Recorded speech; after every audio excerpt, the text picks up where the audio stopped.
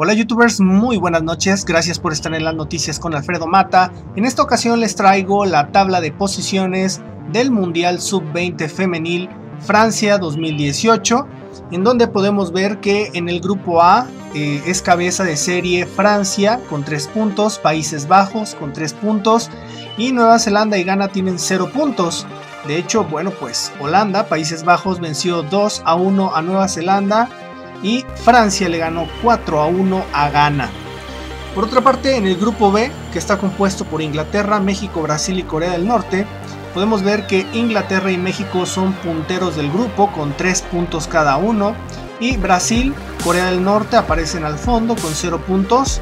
México le ganó 3 a 2 a Brasil y por otro lado Inglaterra venció 3 a 1 a Corea del Norte. En el grupo C tenemos a España, Japón, Estados Unidos y Paraguay.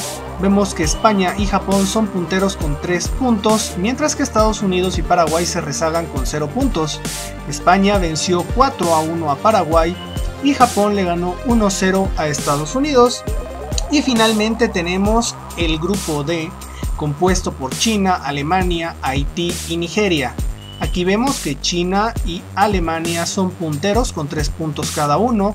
Alemania venció 1 a 0 a Nigeria y por otro lado China, la República Popular de China venció 2 a 1 a Haití.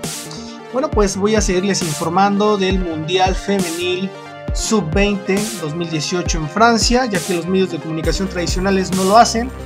Bueno, pues yo soy Alfredo Mata, por favor suscríbanse si no lo han hecho y compartan la nota en sus redes sociales. Que tengan buena noche y que estén muy bien.